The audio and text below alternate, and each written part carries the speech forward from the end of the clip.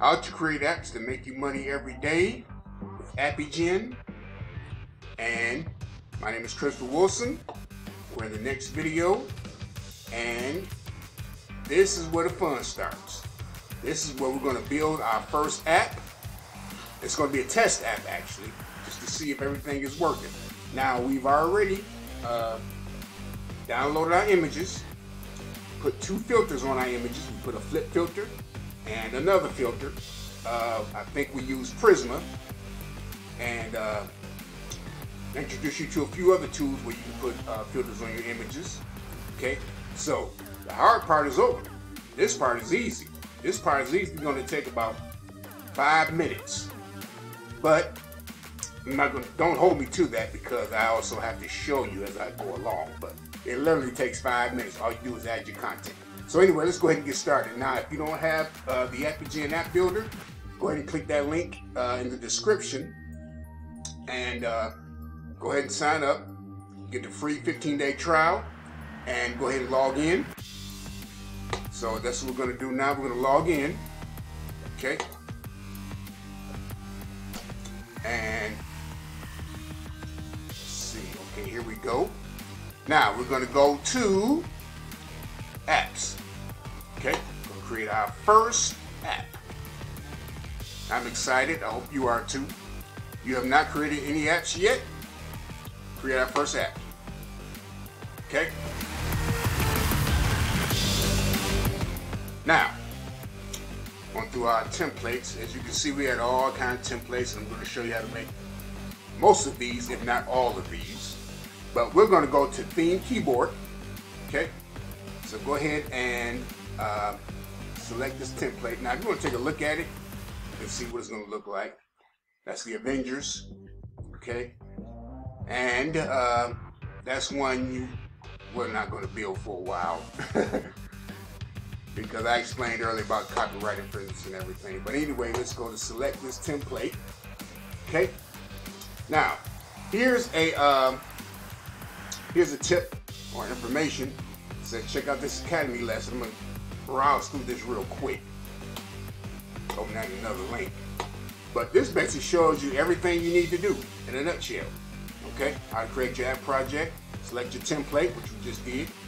You're gonna put in your app name, and your um, your package name and your app or app name. Yeah, package name and app name. Okay. Then you're gonna go to uh, your app interface where you're gonna uh, set up your the colors uh, and hex codes for your uh, colors for your app. So anyway, you can look over that if you happen to get stuck somewhere. So what we're doing is neon, neon uh, wolf keyboard, keyboard theme. Let's try. Okay. Now max is 70 characters, of course. We're not near that. But what you can do, um, just for the search engines, um, you can add a little extra uh, but we're not going to do that right now. You know, make it uh, ASO friendly.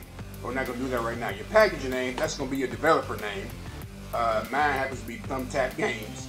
But whatever your developer name is, put it there. Mobile at mobile.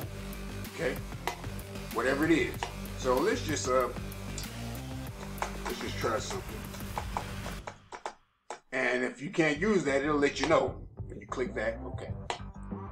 Well, it didn't. But anyway, let's go back to Thumbtack Games. Okay. No spaces or, or uh, special characters in that. Your app name. It's going to be your app name all together. And it can't be no longer than 20 characters. So we're going to go with Neon Wolf Keyboard. Try that. Okay. Simple, straight to the point. This is going to be version 1.0. Okay, and as you build different test versions and so forth, and as you update your app, you know, you can, uh, you know, go to different versions and so forth. Okay, uh, yeah. So the app icon, we're going to leave that for now because I'm going to show you a ninja trick as far as making your icon that nobody does. I haven't seen it anywhere but me. But I'm going to show you that a little later. Privacy policy, we're going to get to that a little later. Okay, I'm going to show you a privacy policy maker. Okay? So, let's go ahead to next. Okay? This is our desi design. Okay? Get primary color, accent color, and so forth. Um, now, what we're going to do, um, and they suggest you use, you know, Google Material Designs. We're not going to do that right now. You can look at that a little later. But uh, I want our app to have what somewhat of a uh, black, a black uh, color to it. So uh, I'm going to just choose. I'm just to choose a color. I'm to go with a little black there, the primary accent. We can make that, uh, I don't know. Let's choose, oh, didn't need to do that. okay, let's choose something, a neon type color. How about that? Let's go to neon type. Let's do it like that, okay? Text color, we always want to make this black, okay? Because when uh, it shows up, your, your theme has been updated, if it shows white, you're not going to be able to see it because the background will be white. So we're going to make it text color. Or we can make it any color, any color actually. Let's make it, um, how about that color? Okay. Primary color, let's make it black. Or a little grayish. How about like that? Okay, and you'll see these, uh, when um, background color, we keep that white for now. Secondary color, we leave that like it is. Okay, submit. Okay. Now, is guiding you through this. Next, add some content to your app. Okay, this is our app, Neon Wolf keyboard theme. Let's go to content. We're gonna add, add content from my computer. It's import content, not sure what that is. I haven't used that. But let's go to add content and we're gonna get the images, flip and uh, Prisma images. Okay. So let's go to our, we want Prisma and Flip, right? Okay. And from here, oh, I never did delete that other uh, image when Prisma did it twice. But anyway, let's choose, uh, I don't want that one. Well, yeah, let's choose that one. That was from the other image editor that we had that we were using. I believe it's the funny photo. So click that and you're gonna see it load right there, then upload. Okay, so that's one. Okay, let's click again. Let's add the wolf, the face of the wolf, upload. This is all you do. Okay. Go to the next one. Okay, and upload. Okay, go to the next one. Now I'm to do about five of these. Let's go to that one. I like that one because it's the blue is kind of off. Doesn't really match this one. But anyway, like I said, and that's the Prisma filter on that. Looks good. Looks good to me. Uh, let's go with uh, this one. Okay, that's six images. Okay. All right, we're gonna go with those six for now. Okay. And uh-oh, keyboard background must be between two and 450 kilobytes. Okay, that means that image is rather large. And let me just do a quick. Uh, I want to see what size that image is, so we know to use a small image. I think it was that one, right? Let me check something real quick. Uh, smaller. Okay, I want to see exactly what size that was. Okay, it was this one, I believe. 1885. Okay, yeah, it's pretty big. Now remember, from the uh, training on our images, when we do the flip, we resize it. Remember, we resize it uh, horizontal by to like five, six hundred to where to where it gets.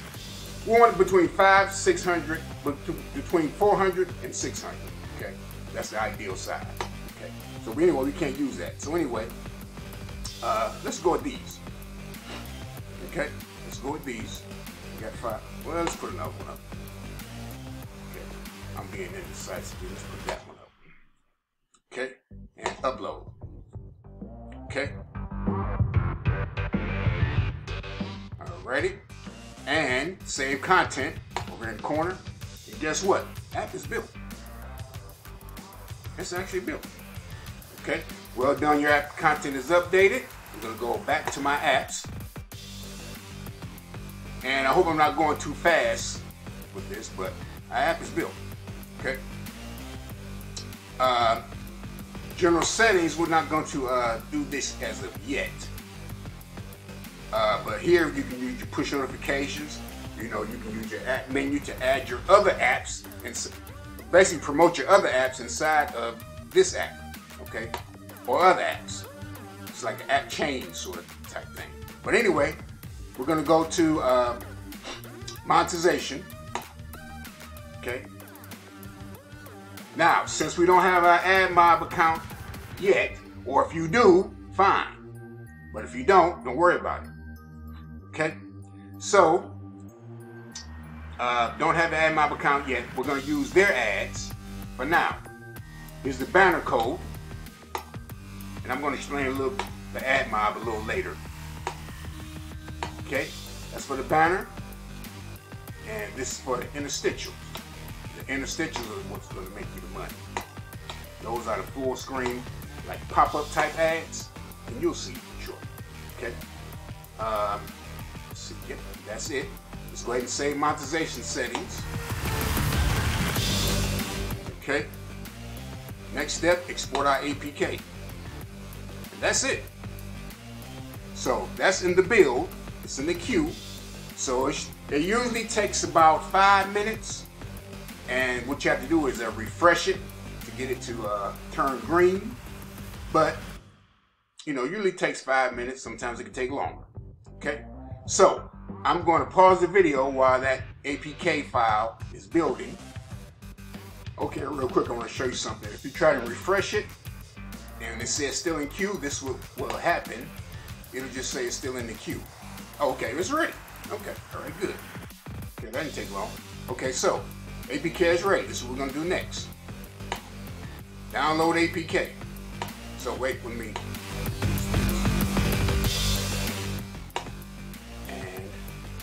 Yeah. So let's go ahead and download our APK. I'm going to show you what I'm going to do.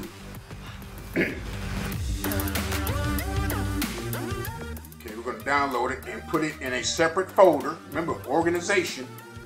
Because once you start pumping these apps out, you got to keep everything organized. You got to name your bills, which is very important. So you know exactly where you're at in your app building process. Okay. So we're going to put this in our uh, folder Neon Wolf keyboard bills.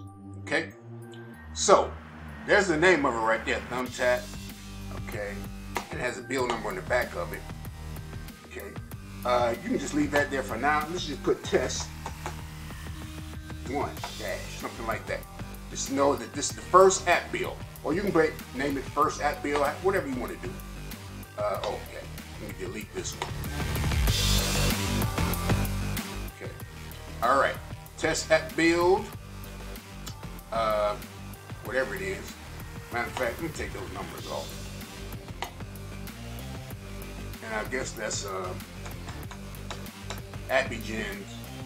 something with AppyGen, I don't know. Test one build. Okay, let's let's call it that. Okay. So you see, I have my bills folder. Okay. And like I said, what you do, just right click, make a folder, label it Bills Neon Wolf Keyboard. Okay, so our next step is transferring that build, that build onto our phone so we can test it, uh, so we can download it, install it on our phone and test it out. Test out some keyboards and so forth. So we're gonna do that. Okay, I had to hook up my phone using my USB cable. Okay, so what I'm gonna do is open the phone and find this test app and move this down into my folder, to my phone folder. Grab and move it down. Okay?